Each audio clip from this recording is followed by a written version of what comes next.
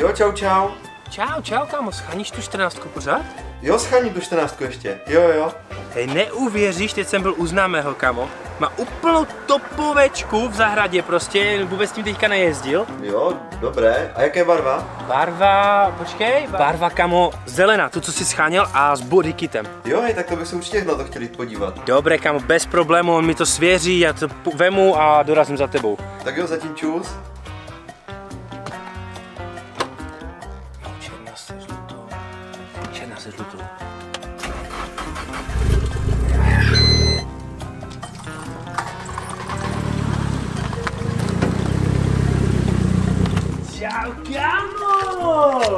Tak co na to, co na to říkáš? Mě nevypadá to zle. Kamo, jsem rád, že hej, ukecal jsem ho, trvalo mi to, aby mi to půjčil a dojel bych tady, kamo. Co ti budu? Prostě měl to celý život, ty vole, v garáži zaparkované. Ale víš, co se stalo, že on ztratil klíče, kamo. Uh, červený se zeleným, modrý s černým, prostě má to teďka na kablíky, dal si tam spínačka a pohoda. neřekl, jo? Jo, mi to všechno řekl. On co vychytál a, a bez problémů. Tak jdem to projet? Jo, můžeme. Tak jo. Pokud se chceš vyhnout takovým situacím, tak na Car Vertical si můžeš ověřit, jestli bylo auto bourané, jestli bylo kradené, jestli nebylo náhodou z autopůjčovny, a nebo třeba využívané jako taxík. Taky si můžeš ověřit skutečný nájezd kilometrů, anebo další užitečné informace. V popisku tohohle videa najdeš link se slevou na Car Vertical a můžeš si ověřit své budoucí auto i ty za pár minut.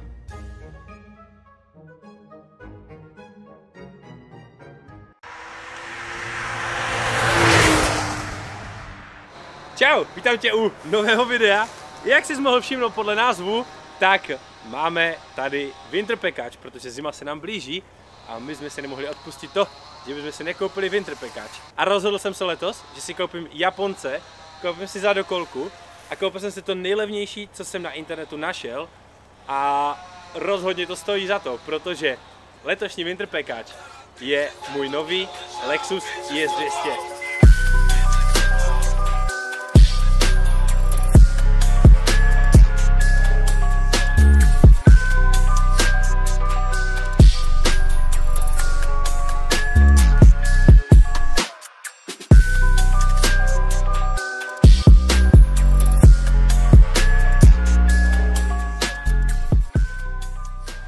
Každopádně na téhle střeše stojím z jednoho prostého důvodu, protože ta střecha je úplně v prdeli.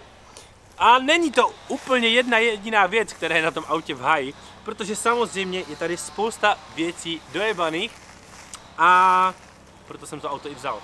Ono úplně celá ta backstory toho auta je nejvíc vtipná, protože jste určitě viděli video, kdy jsme jeli Pachotovi pro E46. No a po cestě pro E46 jsme narazili na tohle auto a prostě jsme se rozhodli, že to vezmeme menší oklikou, páme se na to auto a koupíme ho. Halus byla, že ho měl zamluvený někdo úplně jiný a my jsme to nevěděli.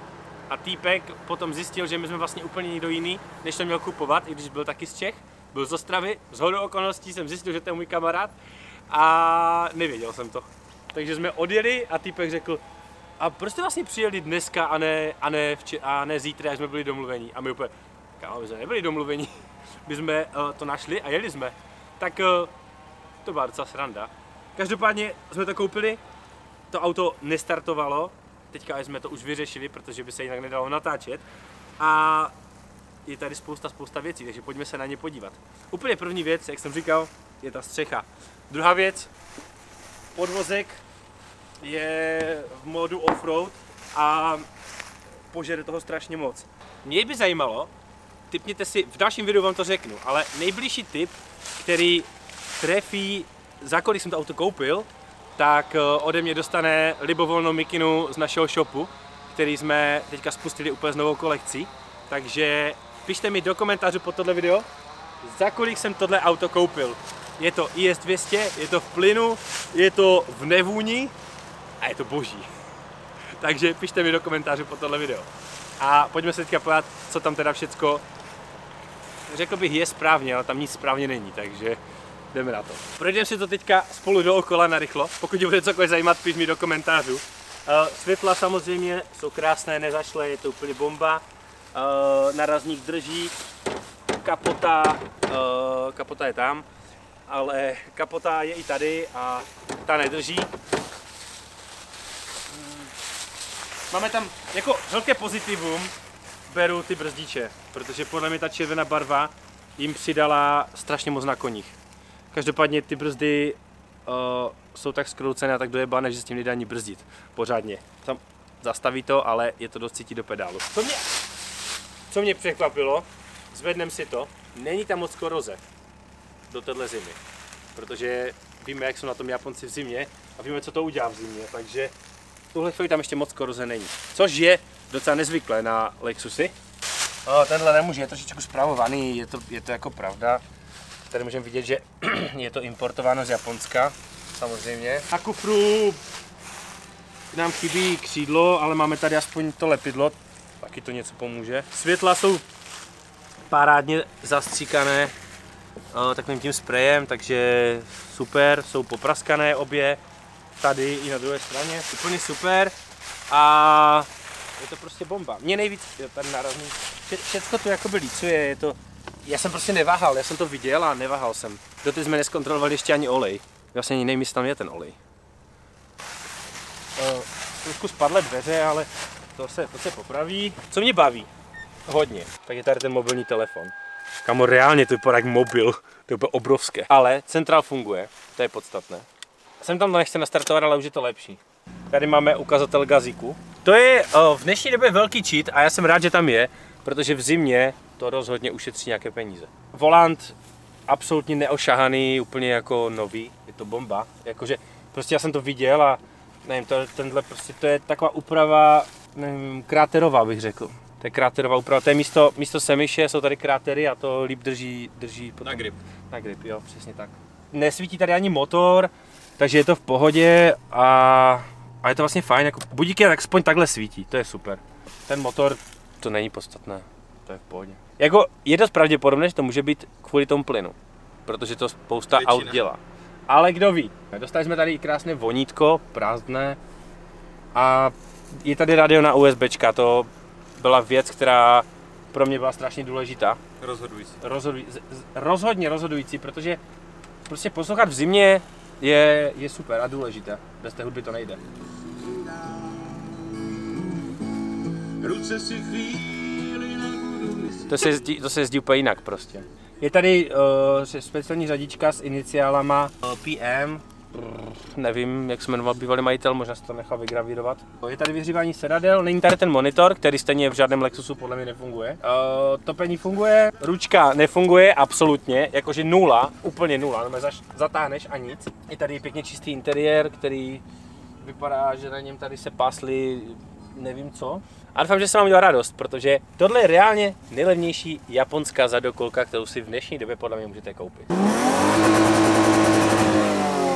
On je boží, že to nastartuješ na začátku, kámo, když je to studené a z toho vyletí ty oblaka toho dýmu. No to jako, na to olej nebude samozřejmě, že jo, to, to je úplně jasné, takže těším se, až to auto dostane lásku, sněhu a můžeme si s ní spoustu srandy. Já jsem i zvědav, co řeknete na to, protože spousta lidí říká, že na Japonce jsou drahé díly a že je problém je upravovat raidy a tak. A já jsem si to samozřejmě, než jsem to kupoval, tak jsem si to zjišťoval, protože se o Lexus si zajímám díl, ne, že to bylo jenom, že jsem ho jako viděl a, a rozhodl jsem se, ale o Lexus si zajímám díl. Protože samozřejmě je verze IS300, ve které je 2 ZGE, to je silnější verze tady tohohle. Ukážem si, kolik do toho stojí, nába na volant, raidy, podvozek a všechny tyhle věci, protože spousta z vás možná zjistí, že to je hodně podobné 36 46 Sice výkonově samozřejmě 2 litr není tak dobrý, ale dělá se spousta kitů, třeba kompresor kity nebo turbo kity přímo na Alexe. A ty kompresor kity by měly být dost plug and play, ale my tam kompresor dávat za zimu nebudeme. Takže kdyby tady byl někdo s Lexusem, kdo má kompresor, klidně mi napište do komentářů a mohli bychom aspoň porovnat, jak to funguje, jak to bylo jednoduché zapojit, kolik to stálo a tak. Takže klidně, pokud je tu jakýkoliv majitel Lexusu, pište mi zase do komentářů a můžeme se potkat s mojí láskou. No. Tak jdeme se ještě projet. Tak, odložíme si mobil tady do krásného kastlíčku. Uh, normálně tady bývá takový display, ale on se docela dost kazí. A já jsem rád, že tady není, protože tady můžu pěkně odložit věci. Jaký je rozdíl Lexusaci, mě to ještě tak zajímá, já jsem si to nekoumal na internetu. Jaký je rozdíl v tom, že zapneme Snow, jestli to nějak upravuje nějak prostě nějaké systémy nebo něco, asi určitě jo. Ale zajímalo by mě co, takže jestli to víte, tak uh, klidně pište do komentářů. Slyšíš tu spojku? To je spojka F topu.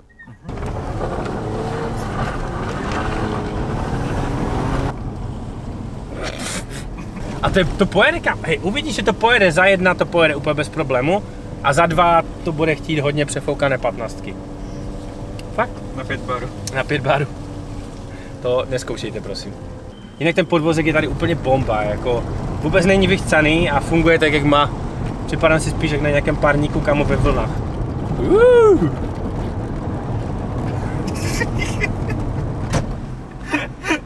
Ach jo. Morskou nebo. Nic tam jinak nemlátí na, na čepech nebo tak, jako je to v klidu. Jenom prostě ten podvozek je trošku hin, no. Budeme tam muset dát něco, něco jiného. Cítíš, cítíš ty brzdy? Mm. Mm. A to když se trošku ještě kamo záře, tak je to úplně Ne, že vibe. v pedalu, jak sedačkách to cítím. To se tak ozývá. To je, to je příplatka vybava od Lexusu, kamo. Vibrační sedačky. Masážní sedačky. Uvidíme, jestli s tím třeba Erik něco neudělá v EQ.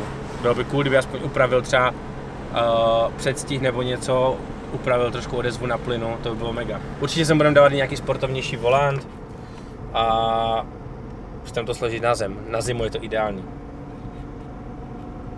Já se totiž to, já se hlásím do silničářské skupiny tady ve Frenštátě a budu odhanovat silnice. Si na to udělám radlici, lipo pořádné a budu jezdit. Ono, nevýhoda Lexusu, a to si myslím, že mi potvrdí úplně každý, kdo s tím kdykoliv jel, to auto je fakt těžké. Jakože fakt je těžké. Do některých modelů se dával torzen, což tady samozřejmě není, což je škoda. A Za ty peníze, kdyby tam byl, tak eh, je to totální win-win. Tím torzenem to celkem funguje. Co to znamená, kdo neví? uh, s- svor. Prostě, že zabírají obě kola. Tak jak, tak jak jsem měl kdysi v Zetku Kaze, ten samosvor, tu šíšku, tak vlastně něco podobného, akorát jako sériově, sériově dodávaného. Teď víš, že tam není nic moc vymlacené. No, takže nebudeme tomu dávat úplně totální sadu. Vyměníme tam první, první olej a pak to budeme zkusit. Každopádně klidně mi pište, co s tímhle to mám udělat a já to udělám. Protože tohle auto je na to připravené, já to cítím.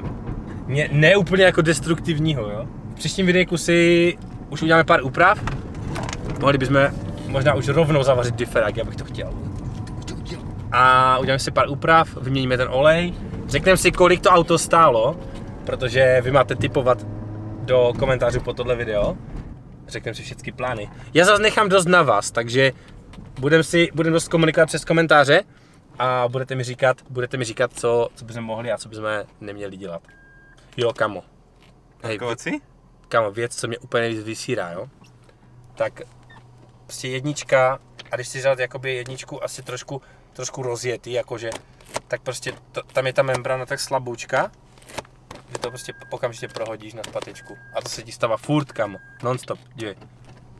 To jenom trošku víc zabereš.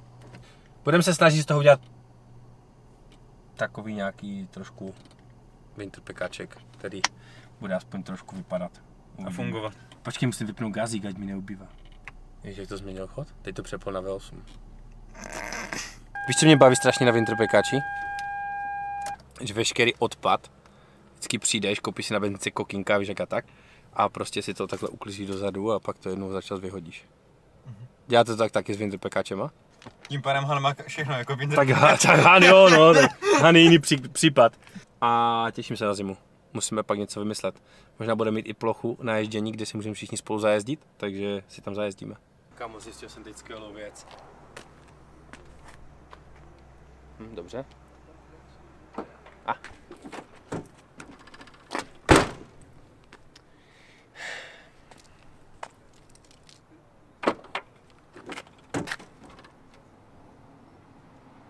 Všechno funguje. I tohle ještě jako funguje? Hmm. To si úplně ne. Kamo, Volkswagen? To tady asi úplně nepatří, ne? Já se bojím podívat dolů. A tak tady bude ta bomba vlastně, že? No, takže tak.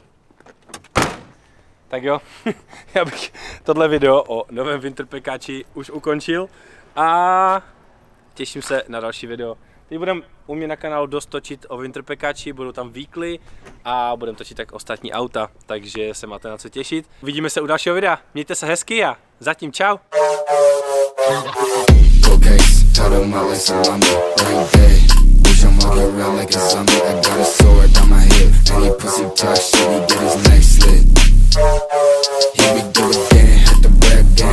Fucking bitch, mean the fucking ain't got no friends. Do not hit my bitch up, I might to hit this live quick.